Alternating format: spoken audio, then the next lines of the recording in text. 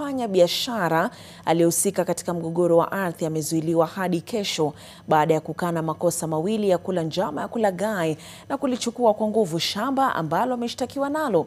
Abdul Rahman alifikishwa mbele ya hakimu wa mahakama ya Milimani Geoffrey Onsarigo na kukataa kujibu mashtaka kwa nia ya kulaghai kampuni ya Pedval Limited iliyo sehemu ya ardhi iliyo katika wadi ya Sosian Estate, ardhi ya thamani thamani ya milioni kumi. Inashtakiwa kwa kufanya makusudi ya kulaghai na kula mali pamoja na wenzake njama ya kuingiza kwa nguvu na mali hiyo ya ardhi. Abdul alikanusha mashtaka kupitia kwa wakili wake na aliambia mahakama kuwa kuna kesi ya madai katika mahakama kuhusu umiliki wa sehemu hiyo ya ardhi. Umilikaji wa shamba bado haujaamuliwa na mahakama.